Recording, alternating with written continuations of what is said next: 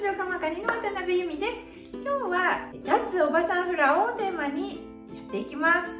長年フラを踊っているけれども伸び悩んでいる人が今感じている限界の壁を突破してフラのスキルを伸ばして成長していく方法をお伝えしていきます。ぜひこの動画で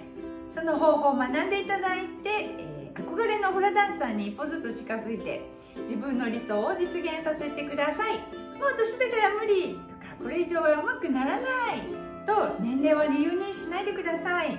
正しい方法で努力を積み重ねれば人間はどんどん伸びていきます。もちろん私自身も伸びしろだらけだと思っているので毎日研究したり練習したりへこんだりしながら、えー、いろいろ試してチャレンジを続けています。是非皆さんも一緒にチャレンジしていきましょう。では早速脱おばさんフラチャレンジしていきます。脱おばさんフラということでじゃあおばさんフラどういうのかというと特徴が3つあります。まず1つ目は姿勢が悪い、え、2つ目は体幹が弱いので、えー、踏んだステップが全部あの体に響いて上まで響いてきちゃう。こういう風な感じ。こういう感じですかね、ちょっとねあの見てる人はちょっとね酔っちゃいますね。船酔いしちゃう感じに体がこう揺れる。上半身まで揺れてしまう方が多いです。そして3つ目は一つ一つのモーションが止まってしまうということですね。12341234と止めてしまうというこの3つの特徴があります。ですのでこの姿勢が悪い体幹が弱い動きを止めてしまうというこの3つを改善するだけで、え、理想のあのフラダンサー このフラダンサーに近づくことができます。そしてご自身の理想のフラを踊れるようになっていきますので是非この3つを改善していくように一緒に頑張っていきましょう。ではまず姿勢からやっていきます、えー、脊柱この背骨をですねしっかりと上に引き上げていきます。背筋を伸ばすというよりかは上に引き上げるというイメージで体を上の方に引き上げてみましょう。でこの脊柱脊椎はですね腰椎胸椎頸椎から、まあ、なってるんですけれども綺麗な、ま S 字を書いているんです上げていくイメージで背骨を起こしていきます。はい次にですね骨盤底筋をちょっと締めていただきたいです。骨盤底筋、えー、どこにあるかっていうとこの尾骨から恥骨にかけて。尾骨から恥骨にかけてハンモック状につながっている筋肉になります。この筋肉をぐっと締めることによって骨盤が正しい、え角度に起きてきますのでちょっとしっかりと締めてください。そして体幹も安定させることができますので平均はしっかり締めてください。インナーユニットの一つになっています。でこの平均の締め方がちょっとわからないわっていう方えーと、3つやり方をお伝えしてます。その中でなんとなくイメージできるものからやっていっていただいて徐々に慣れていっていただければいいと思います。まず1つ目骨盤底筋の締め方。がおしっこをまあしてる途中でギュッと止める感じ。まず1個目ねおしっこ止める。2個目おしっこちょっと我慢する感じ。ちょっと下系で申し訳ないんですけどそこ,、まあ、そこら辺の筋肉になるからねおしっこ我慢する感じ。あとはお尻をまあ締める。その3つでちょっとしっくりくる感じのところでトライしてチャレンジしてみてください。平均をキュッと締めましょう。いいですか？脊柱を上に引き上げてる。平均を締める。はいこの2つ。反ってしまう方がすごく多いです。こういう風にこういう感じでこれ姿勢立てまあちょっとオードリーの春日みたいな感じでなんかこういう風に背中を反っちゃう方がすごく多いんですけれども背中は反らなくて大丈夫です。ととにかく背筋背骨脊柱は上にぐーっと引き上げていただいて低筋をまずは締めるというところに意識していただければ大丈夫です。はい姿勢はまずここです。これでしっかりきれいに立つというところを意識しましょう。でこれが1つ目姿勢ですね。で2つ目体幹が弱い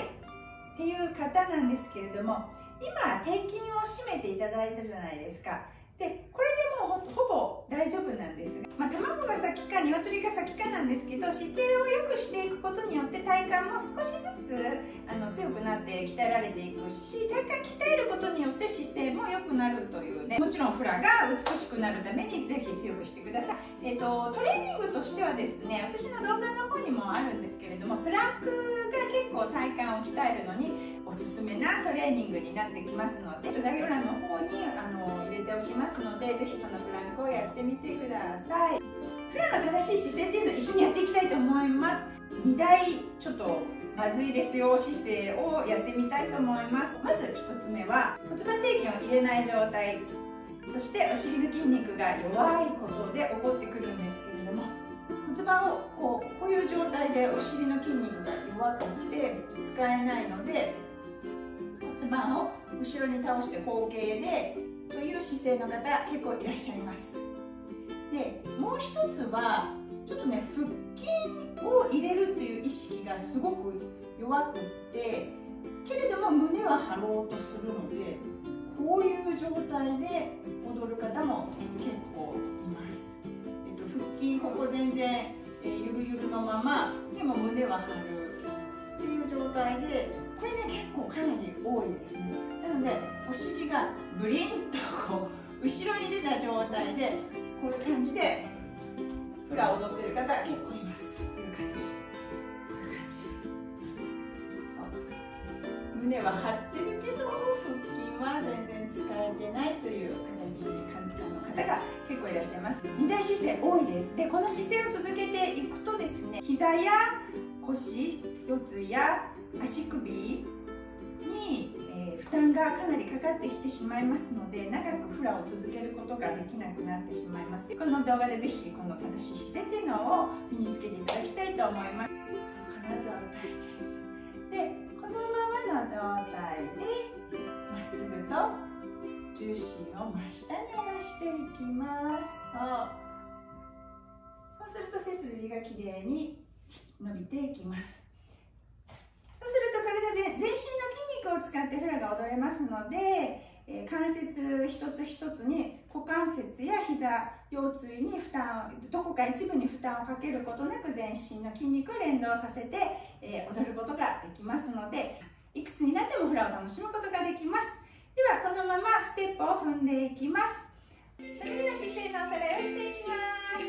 背骨をしっかりと上に引き上げて背筋をぐーっと落としていきます。骨盤底筋を入れていきます尾骨から足骨にかけての底筋をぎゅっと締めてくださいお尻を締める感じで大丈夫ですさらにそこからもう一つ腹筋をぎゅっと入れていきましょう頭を広げずに胸を広げていきます耳から肩は遠くに離してください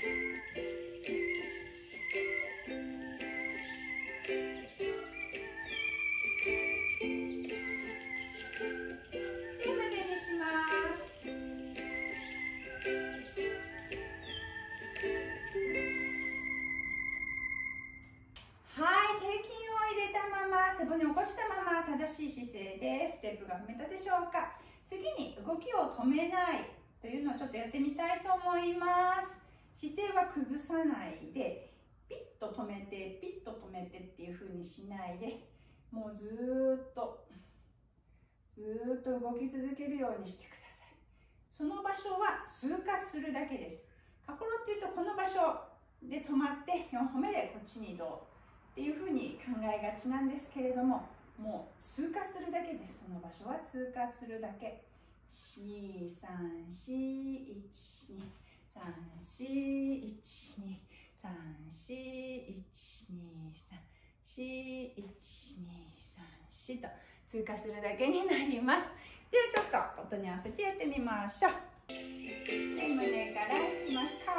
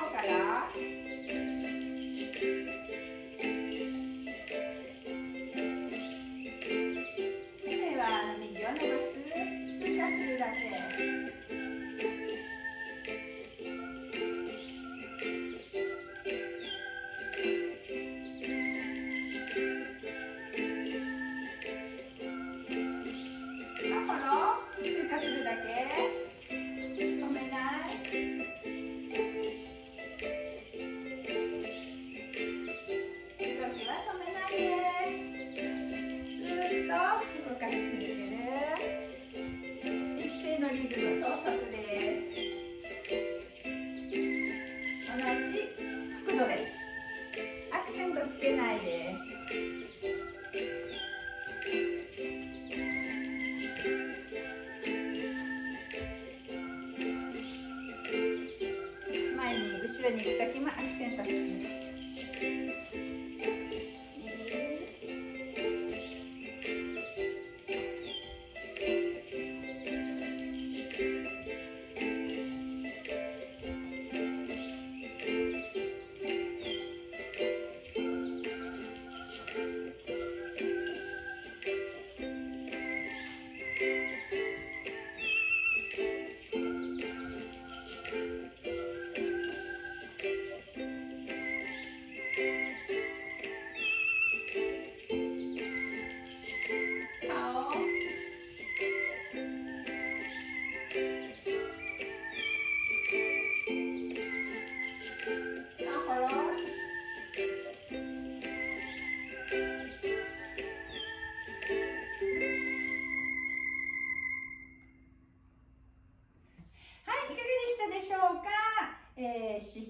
正しく